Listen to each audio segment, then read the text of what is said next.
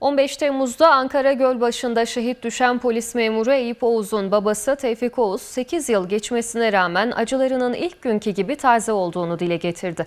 Öte yandan şehit babası Oğuz, oğlunun Diyarbakır'da çalıştığı dönemlerde dönemin İl Emniyet Müdürü şehit Ali Gaffar Okka'nın yanında olduğunu ancak İzmir'den gelen misafirleri karşılamak için saldırıdan 10 dakika önce yanlarından ayrıldığını söyledi.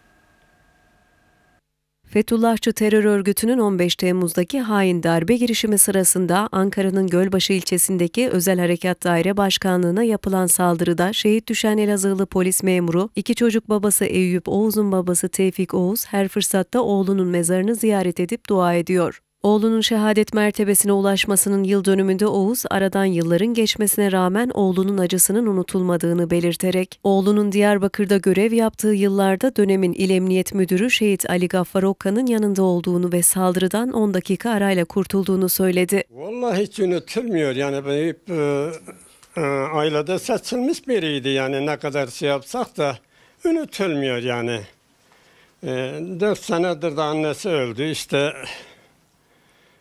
ne bileyim yani annesi çok merak ediyordu. Eyüp cesur adamdı ya. Ailede seçilmişti. Eyüp'ün ölüm, e, aklına ölüm gelmezdi. Gaffar Okan'ın yanındaydı. O da e, yani 10 dakikalığına kurtuldu yani. E, e, saat 6'da çıksalardı o da içindeydi zaten o 6 kişinin içerisindeydi. Fakat e, Eyüp'ün saat 6'da e, İzmir'de vermişti onu misafirleri geliyor diyor ki ben altıda sizi terminalde alırım. E, çıkıyor işte ondan sonra tarıyorlar.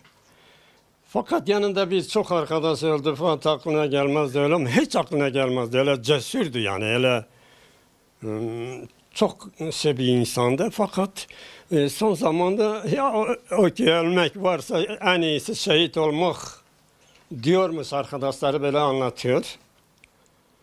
İşte demek ki kalbine doğmuş. Saadeti orada tamamlamış. Öte yandan kentteki bir kurs merkezinin öğrencileri öğretmenleri gözetiminde şehit polis memuru Eyüp Oğuz'un şehadetinin yıl dönümü dolayısıyla baba ocağını ziyaret etti. Hiç korkmuyormuş. Burada olmaktan gurur verici. Tevfik dedi biz çiçek ve bayrak getirdik. O da bize sağ olsun hurma ve şey çikolata verdi. Burada olmaktan hem mutluyum hem de gururluyum. Tevfik Oğuz'u ziyaret edip elini öpen öğrenciler Oğuz'a Türk bayrağı ve çiçek hediye etti.